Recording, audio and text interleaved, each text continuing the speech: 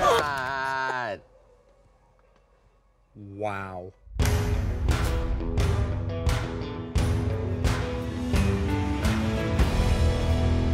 What happened? Do you remember that?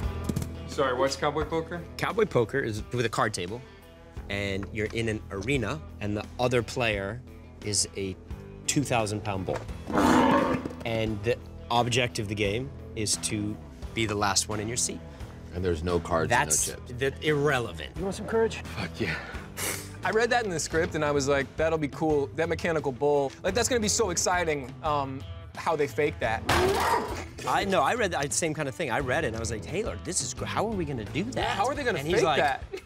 Uh, we're gonna put a bull in there with you guys. You get there and it was like we're shooting stuff before, and we're like, I was like, where's the bull? And it's like it's just in that cage over there, pissed as hell. Like, yeah, I'd love to meet the guy who's playing the bull. Where's the guy who's gonna put the mask on and do the Carnival. So we did it. We we did it faking it. You know, making a lot of faces. Yeah. And then at a certain point, they were like. Okay, we'd like to invite you to get very far away. It kind of reminded me what's of about like like a tornado is coming, they like tuck you away. They like put us in the barn and we're like, whatever you do, you can't come out of this barn.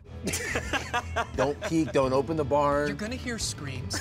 Um, there's gonna be people knocking on the barn door saying, "Let us in. We're in trouble. Please help us." You cannot let Like, them you in. Know cannot. meant?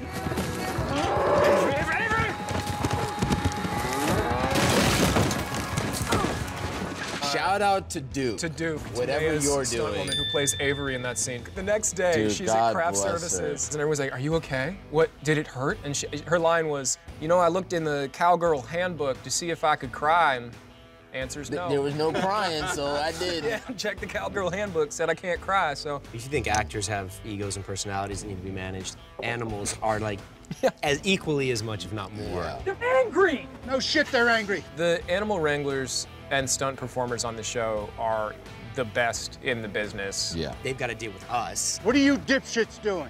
and the animals and Yeah. put the two Together. clowns together. Duke kept talking about how it was a good bull. The bull hit her the you Yeah, know the like right the, way, yeah. the bull hit her the right way so that she walked away. They control the variables as much as they can. It's it's it's, it's a big job. Uh, take seven.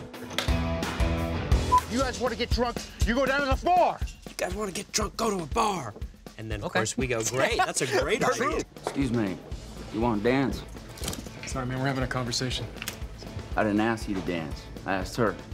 Answer's no, buddy. I think know, feeling you got a invincible. chippy, yeah, didn't you? He was hitting on Avery and sort of being an asshole. And I think that the experience dealing with that bull, also spending your all your time surrounded by the biggest, toughest cowboys you know, makes you feel invincible. Yeah. F- off. The Yeah. editing on that piece was so good. It's like, oh shit, they can't touch us. We're in the Yellowstone. We're with the Yellowstone. No one's gonna mess with us. and you get knocked That's the thing, out, is and then it's like, oh my god, yourself. again. You know, Yeah. we start feeling ourselves and we really feel like, you know, everywhere we go, we can just Yeah. do whatever we want. And then you kind of get this very quick reality check. But the reality is too that if we were there with Rip, they wouldn't have touched yeah, us. nothing. you know? Yeah, exactly. Right, exactly. Yeah. We're just a little too big for our britches. Yeah, Yeah. we just overextended a little of, bit. Yeah. of course, Rip comes and saves us with And handles it. a bull. Yeah, exactly. Brings the bull. Got it. Just uh, put that one in there. This is the Lane Pulsator 4 electronic bull ejaculator for artificial insemination.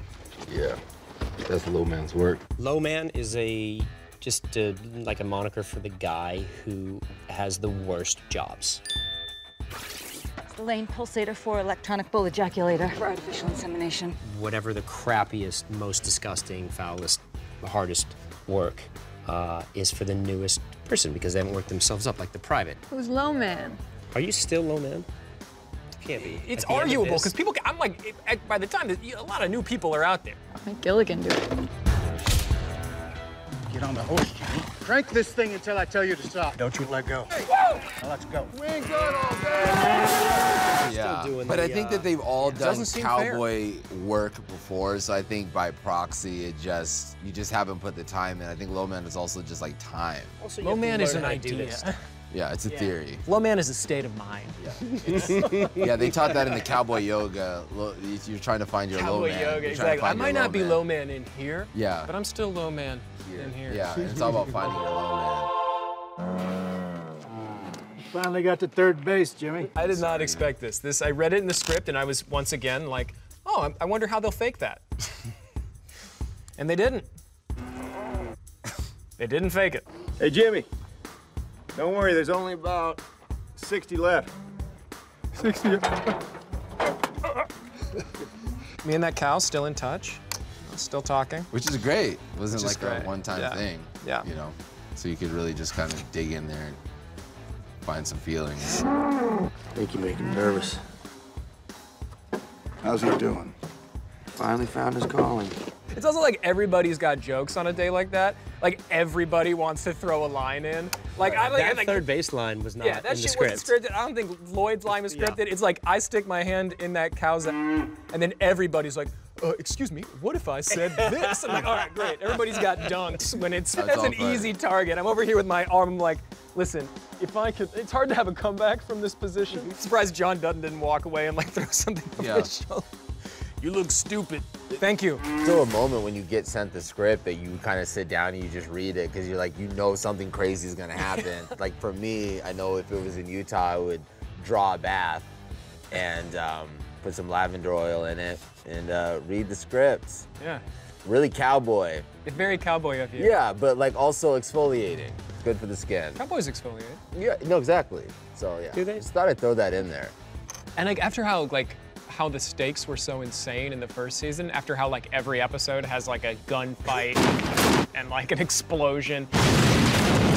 Then to see how in the second season, script after script, it like it continues to escalate. Yeah. You get to the point where every time you open the script, it's like page one, the charred wreckage of a blind. It's like Well, yeah, because you never figure out like how high it can go. Yeah, it just kind of Yeah. keeps going up.